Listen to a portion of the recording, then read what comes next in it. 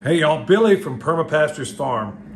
This is going to be a very important and profound video. But let me start with, here's one of my freezers, okay?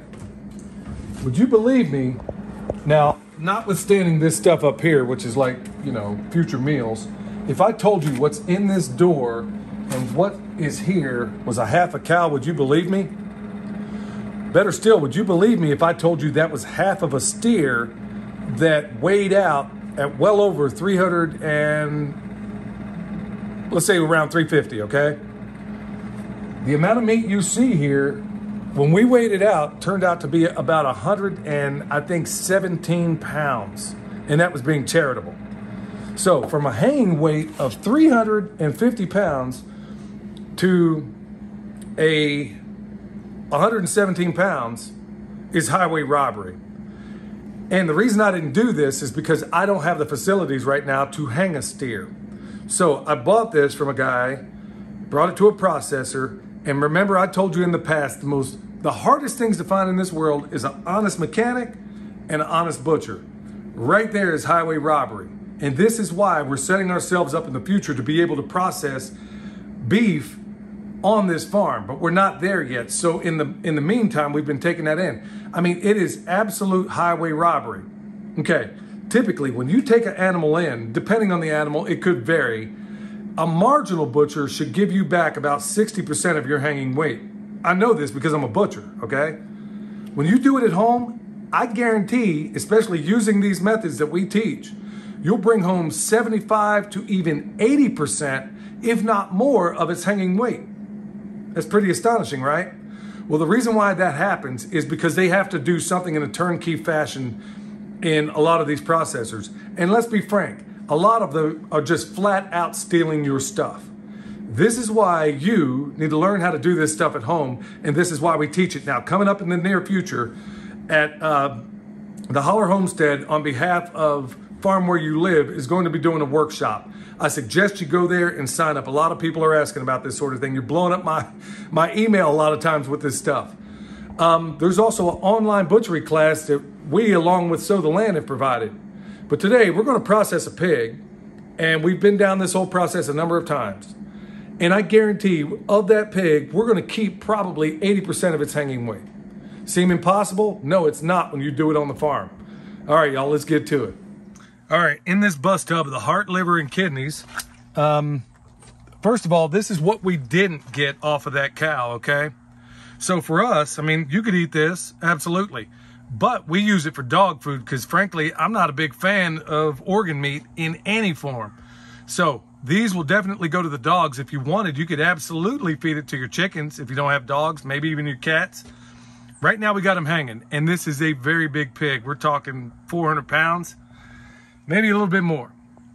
Let me tell you what else we didn't get on that cow.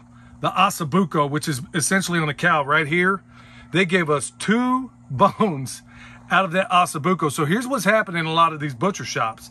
They're either stealing your meat and putting it in their butcher's case or they're taking it home. It's cold-blooded. There's a whole lot of other cuts there on a, on a cow that you should have got, but the same exact thing happens on your pigs. This is why we were encouraging. And then plus, the cost these days. I met a guy at one of the previous festivals we did a while back, and two pigs. I think they charged him a thousand bucks a piece to process. You were not money ahead doing things that way. So even the processors are through the roof and they're stealing your stuff. I'm sure there's some honest ones out there. I just don't know who they are. But I know one thing there is nobody more honest than you when it comes to your meat. The pig feet. They're not going to give you that. Like I said, the whole ossobuco on a cow didn't give you that. These are shanks on a pig. Um, a whole series of other cuts that you are not going to get. So here we are at this point, and if you've seen any of our butchery videos, if you want to see it in greater detail, like I said, we it'll be listed down below. Every step, every cut, and we're adding more to it all the time. So we're going to be having that even in, in, much wider availability. And it's really great for you people that can't do it in person. But even if you can, it's a way for you to reference back on how to do this every step of the way yourself. So for what this means for us at this point, this pig's still dragging the ground. He's that big. We're going to cut him down the sagittal plane. Head's already removed, which means we're going to basically cut him down the middle. And that's when we're going to make all of our critical cuts. So here we are the next day, and I'm doing what to me is probably the most therapeutic thing in the world I know how to do, and that is process meat. I love doing it, I love teaching it, everything about it. But today's focus is all the things that you're likely not gonna see. Now, when you take your animal in to the butcher shop or the processor, whatever the case may be, they're gonna give you the cuts you know about. And right here, this is a bone-in loin. This is gonna wind up being the boneless loin. I took the tenderloin out of there. This would be your uh, T-bones if you want. I'm gonna cut these off because I always wanna make the most meals as possible. Your processor couldn't care less. So I'm gonna cut these off, have another, instead of just having St. Louis style ribs, I'm now gonna have baby backs when I take this off, and then we'll have pork chops boneless down this side. I'll take this chine bone out, take boneless out of this side. But that's really not the focus of this video. Now, I told you in the beginning that the hardest thing to find is an honest butcher and an honest mechanic, and I will stand by those words. Let's think about this. I even kind of misspoke. I said you could possibly get back 95%, but think about this. It occurred to me that really you get 100% of your meat back and everything else when you stop to think about it. Because at the processor, here, let me tell you what, in a lot of cases, what you're not going to see, whether it's a cow, there's a whole series of cuts that you're never going to see. So let's talk about right here, what you're probably not going to get a lot of times. Right here is fantastic leaf lard, basically surrounds the kidneys. And we got a lot of it on this pig, and it looks absolutely sublime. Uh, this will be processed down, and will, Michelle will make the most astonishing pastries you've ever seen. This is all either blood meat or dirty skin, things that we can't possibly put in our grind or render. Like a lot of the fat that we get on the back, remember there's three different types of fat on the pig as we first discussed. But we're not working in an aseptic environment, so we're gonna get dirt on things from time to time. Well, I'm not gonna eat it if I don't have to. Well, what is this good for? We got lots of dogs around here. I can even feed this to the chickens, and I have, and I do. Over here is the same thing, but also we got things in here like this heart. We got kidneys, we got liver over here, and then we got a lot, you can see the dirt on this stuff because like I said, the environment we work in, sometimes you're gonna have to scrape off the outside of it, but a lot of processors, if they have any of that, guess what? It's gonna go right into the trash can. It doesn't happen on the homestead. That's why I'm encouraging, especially in these times when people are paying a fortune. I mean, not everybody is raising pork like we do, where we raise it essentially for 21 cents a pound. I know that sounds hard to believe, but using the methods that we taught you previously, that's how we're able to raise this for 21 cents a pound. How we raise pig or chickens rather for free. Raise our eggs for free at a time in America where where things are just overwhelming for so many people. In fact, I had a crazy conversation today with a lady who's really, really suffering. But we can find ways to get us out of, out of this mess. Not only learn a new skill like butchery um, and any number of skills out there, but also take this stuff, put it in your freezer, feed your dogs, your pets, feed your chickens, because basically we feed everything that isn't pork to pork, everything that isn't chickens to chicken. And then combined with the chicken tractor on steroids, for those of you that are new, go check out the playlist, the multitude of information we have out there concerning, without a doubt, in my opinion, the most consequential chicken, egg, and compost producing system all on planet Earth, right there in that system. Well, we also have another system where we use where we work with partners, where we've created relationships, where we raise this pork for 21 cents a pound. Don't believe me?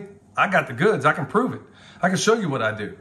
So that's exactly why you should seriously consider doing this at home. Because like I said, if I had the means right now to hang a cow for, I like to go at least 21 to 30 days, they didn't even hang this thing for a week. A week you can control the quality of every single aspect. And I don't care if I got to go out there and get this cow and quarter it up myself. I will never, ever, ever again bring it to another processor when I have all the skills I need to, I need to know how to do this properly. I will probably make a cold room and put a CoolBot in there. I'm going to do whatever I have to do, but I will never again bring an animal in there where I, for crying out loud, a 340 some pound hanging weight reduced down to 117 pounds or whatever it was, absurd.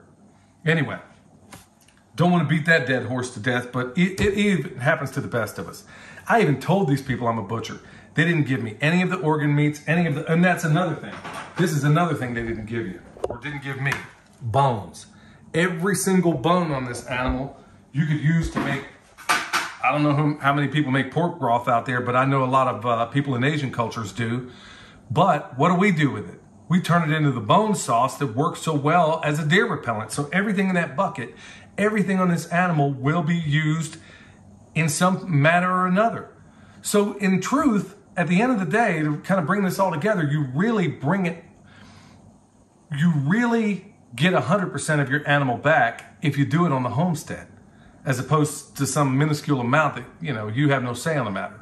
So let's learn these skills. Let's get this stuff. Let's learn how to process, process these animals ourselves.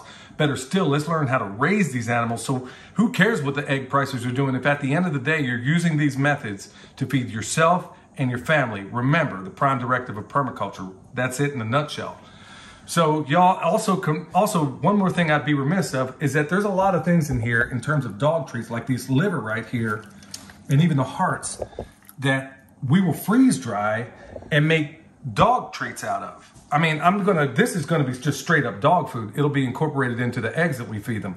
But stuff like your organ meat, uh, we'll put it in the freeze dryer out there. I know a lot of places that have done that in the past and we're gonna do it. We've never actually done that, but I've done it in other settings in other butcher shops.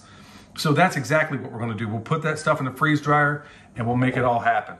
So look, y'all, at the end of the day, this isn't hard. If it weighs, it pays. Even if you turn this entire animal into sausage, you're still money ahead. All right, y'all, if you need anything from us down below, check out uh, the description box and uh, check out the website. Till next time, this is Billy from Perma Pastures Farm, where permaculture is my passion. We'll see y'all.